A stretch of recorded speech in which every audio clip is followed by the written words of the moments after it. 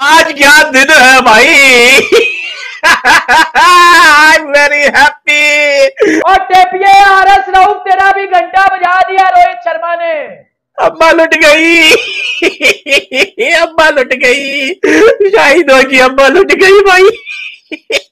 चाहिए कि इन्हें डूब के मर जाना चाहिए इन्हें शर्म नहीं करनी चाहिए शर्म छोटा लफ्ज है। इन्हें डूब के मर जाना चाहिए और बाबर आज़म को तो सबसे पहले निकालना चाहिए। बेचता हूँ मैं ऐसी परफॉर्मेंस के ऊपर जो आज पाकिस्तान टीम ने दी है और मेरा दिमाग खराब कर दिया आप लोगों ने। भाई मैं हम नहीं मानते भाई इसको दोबारा कराओ भाई। ये भाईजान भाईजान ये क्या हो गया भाईजान? घुसा दिया आपके अंदर भाईजान मुसलमान भाई। इन्होंने मैं मेरे से अल्फाज नहीं है मेरा बोलने का पैंट चौदह के बच्चों ने जलील करा के रख दिया। हार जाए लेकिन शेमफुल डिफीट ना हारे के स्टेडियम के अंदर जय श्री राम जय श्री राम जय श्री राम के नारे लग रहे हैं यार। और बाकायदा स्पीकर पे चलाया गया। Shaheen Afridi number one bowler तुझे चौके मारे हैं रोहित शर्मा ने। आर एस को पुल शाटू पे छक्के पड़े हैं। रोहित शर्मा पाकिस्तान का बाप है। रोहित शर्मा पाकिस्तान का बाप है। टीवी नहीं टीवी यार क्या? ये टीवी दूरी हमने नहीं चाहिए। हमें टीवी तोड़ रहा टीवी। टूटते हैं पाकिस्तान में टीवी हार के बाद मैंने नहीं चाहिए टीवी ये। रोहित शर्मा उसने कहते हैं छक्के छुड़ा दिए। आज वही बात हुई है। छक्के चौके छक्के चौके। बा- पाकिस्तानी बॉलरों को पता ही नहीं है। जहाँ भी बॉल जो भी फेंक रहा है भाई वो बस बाहर बाउंड्री से बाहर बाउंड्री से बाहर। इन दस हज़ार पाकिस्तानियों के दरमियान मैं अकेला इंडिया की टी शर्ट पहन कर रोहित शर्मा विराट कोहली को सपोर्ट करने आया हूँ। बात हो जाए पे यार मैं क्या बोलूँ? दूसरा लफ्ज तो बोलने से लेकिन आपको शर्म आनी चाहिए। अगर ये कहा जाए कुछ कम नहीं होगा बल्कि जलील अल्फाज भी ये डिजर्व नहीं करते। कुत्ते की तरह मारा है भाई साहब। अहमदाबाद में रोहित शर्मा ने। नमस्कार दोस्तों। तो दोस्तों, आपने देखा कि किस तरह से पाकिस्तान की टीम को हिटमैन यानी रोहित शर्मा ने पूरी तरह से तबाह और बर्बाद कर दिया। वहीं आपको बता दें कि ये पाकिस्तान वाले बातें कर रहे थे कि हम भारत को अहमदाबाद में हराएँगे। लेकिन जिस तरह से भारतीय बल्लेबाजों ने इन पाकिस्तानी बॉलरों की इतनी बुरी तरीके से कुटाई की है कि ये पाकिस्तान वाले सोचते रह गए कि हम बाल कराए तो कराए कहाँ। वहीं ये पाकिस्तान वाले बातें करते हैं कि हम भारत को हराएँगे। और भाई भिखारियों, पता चल गया कि बाप कौन होता है? और टेपिए आर एस राउत, तेरा भी घंटा बजा दिया रोहित शर्मा ने। बैटिंग देखो रोहित शर्मा की। बाबर आज़म के पचास में खुश होने वालों। रोहित शर्मा की इंटेंट देखी है। किस तरह शाहीन अफरीदी का घंटा बजाया किस तरह आर एस राउत टेपिया का घंटा बजाया लानत बेचता हूँ मैं ऐसी परफॉर्मेंस के ऊपर जो आज पाकिस्तान टीम ने दी है। और मेरा दिमाग खराब कर दिया आप लोगों ने। ये क्या क्रिकेट खेली है यार आपने? इसे क्रिकेट कहते हैं। 190 पे ऑल आउट होने के बाद बॉलिंग में कोई पॉइंट नज़र नहीं आई। रोहित शर्मा ने आपकी बैटिंग को एक्सपोज कर दिया बॉलिंग को एक्सपोज कर दिया उसकी कप्तानी देखी है? कप्तानी चेक की है रोहित शर्मा की। यार आप शर्म आनी चाहिए आप लोगों को। हम लोगों का मज़ाक उड़वा रहे हो आप लोग। शर्म आनी चाहिए आपको। इंडिया तो बेस्ट है हर दफ़ा इंडिया बेस्ट होता है। इंडिया से ये लोग अलग ही डर जाते हैं इनमें वो गट्स ही नहीं है कि ये लोग इंडिया को चेस कर पाए। हमें बिल्कुल नाउमीद कर दिया है इन लोगों ने हर बार हमारा टाइम वेस्ट होता है। हर बार इनसे उम्मीदें लगाते हैं और सिर्फ़ और सिर्फ़ हम लोग नाउमीद होकर ही घर पे बैठे रहते हैं। टी ट्वेंटी वर्ल्ड कप के अंदर एक मैच क्या जीत गए? पाकिस्तान वाले ये समझते हैं इंडिया हमारे मतलब लोअर लेवल किया है। वर्ल्ड कप 1975 से लेकर अब तक एक दफ़ा भी वर्ल्ड कप के अंदर मैच नहीं जीते। परची टीम है परची टीम है टीम है पैसों का खेल है। मेरे बस में होता है मैं टीम खत्म कर दूँ इनको खिलाड़ के लाइन में फायर मार दूँगा। वालेकुम अस्सलाम। देखिए पूरे पाकिस्तान में उम्मीद लगाई हुई थी कि हम बीस तीस से पैंतीस साल बाद आज इंडिया से जीत ही जाएँगे वर्ल्ड कप में पर आज फिर हार गए हम। हमारा हर बार ऐसा ही होता है पाकिस्तान टीम ने बिल्कुल ना उम्मीद कर दिया है ना इन लोगों में कुछ भी नहीं है। एक बाबर और रिजवान से थोड़ी बहुत उम्मीद होती है वो भी हमारी उम्मीदों पर पूरा नहीं उतर रहे हैं। हमें लगता है टीम को चेंज होना चाहिए नए प्लेयर्स को मौका मिलना चाहिए नए प्लेयर्स आए हमारी इज़्ज़त होनी चाहिए। Shaheen Afridi number one bowler तुझे चौके मारे हैं रोहित शर्मा ने। आर एस को पुल शाटू पे छक्के पड़े हैं। यार, ये कौन सी बदतमीजी है, मुझे बताओ। टीवी नहीं, टीवी यार क्या? ये टीवी दूरी हमने नहीं चाहिए, हमें टीवी, तोड़ रहा हूँ टीवी। टूटते हैं पाकिस्तान में टीवी, हार के बाद मैंने नहीं चाहिए टीवी, ये टीवी नहीं चाहिए भाई, हमें टीवी, टूवी नहीं चाहिए, हमें टीवी टीवी नहीं चाहिए, हमें टीवी नहीं चाहिए। मैं तोड़ रहा हूँ, ये लो ये लो, ये यार टीवी तोड़ दिया मैंने फुट कराओ। बदतमीजी नहीं है शर्म आनी चाहिए यार इनको। हम लोग सुबह से मैच का वेट कर रहे हैं, कुछ करेंगे कुछ करेंगे। 152 बटू 190 पे ऑल आउट 38 रन पे छह विकेटें घंटे देख गए हैं। और जो बैटिंग की है इंडिया ने कोहली भी जल्दी आउट हो गया था।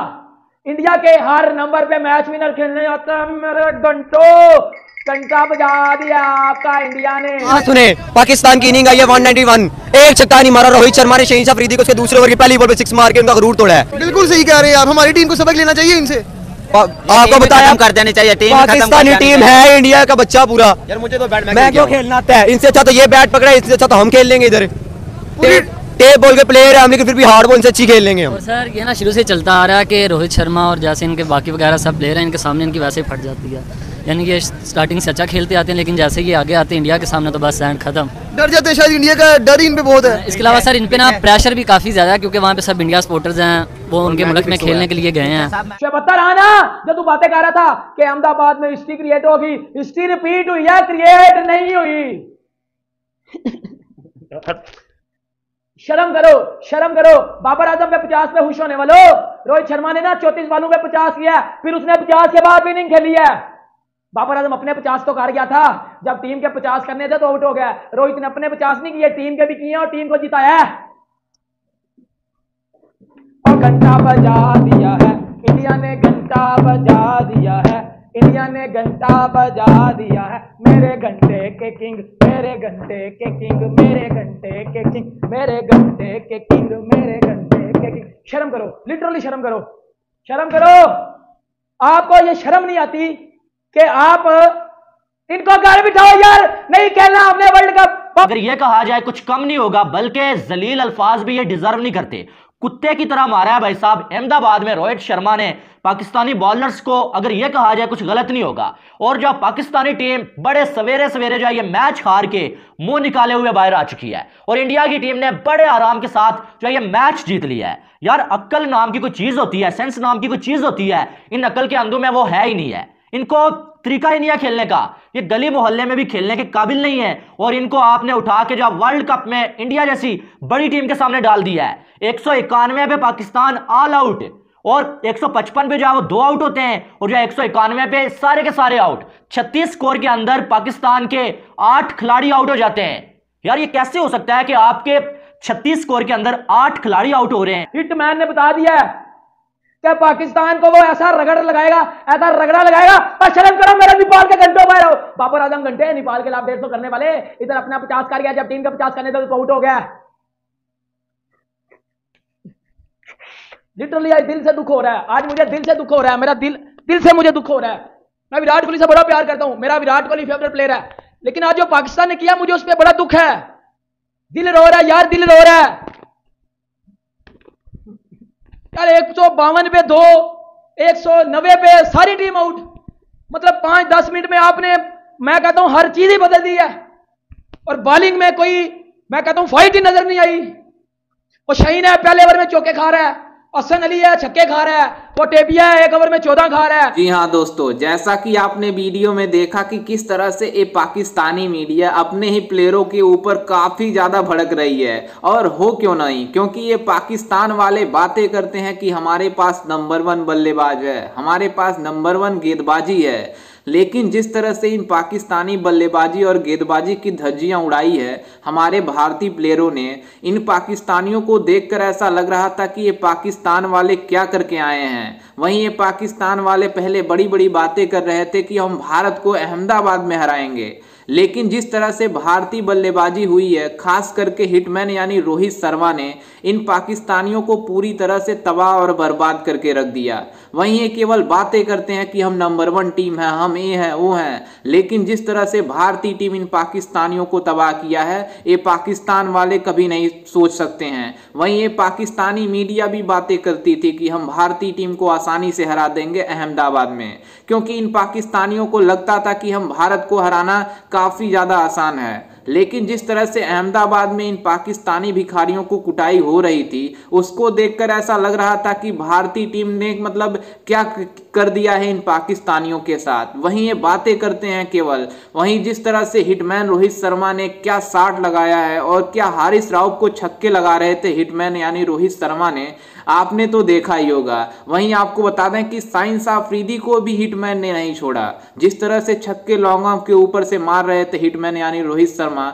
उसको देखकर ऐसा लग रहा था कि ये मतलब साढ़े तीन सौ बनाए होते पाकिस्तान वाले, तब भी भारत आसानी से चेस कर जाता। लेकिन ये पाकिस्तान वाले केवल बातें ही करते हैं। वहीं जिस तरह से भारतीय मतलब स्टेडियम में भारतीयों का कितना ज़्यादा क्राउड था, उसको देखकर ऐसा लग रहा था कि मतलब जनसंख्या का पूरी तरह से सैलाब आया है अहमदाबाद में। और ये पाकिस्तान वाले पहले बातें करते थे कि हम अहमदाबाद में जब भारत को हराएँगे तो भारत वाले कहाँ जाएँगे अपना मुँह छुपाकर? और और भिखारियों, कहाँ जाओगे छुपाकर मुँह? बड़ी बड़ी बातें करते थे कि हम भारत को हराएँगे। कहाँ जाओगे मुँह छुपाकर? ये तो बता दो। लेकिन ये पाकिस्तानी मीडिया है। पाकिस्तानी मीडिया मतलब बदल जाती है, पल भर में बदल जाती है। और क्या आपको कैसा लगा आज का मैच देखकर? हमें अपनी राय कमेंट में ज़रूर बताइएगा। और साथ ही हमारे चैनल को भी सब्सक्राइब ज़रूर कीजिएगा। मिलते हैं किसी अन्य वीडियो में। तब तक के लिए जय हिंद बंदे मातरम।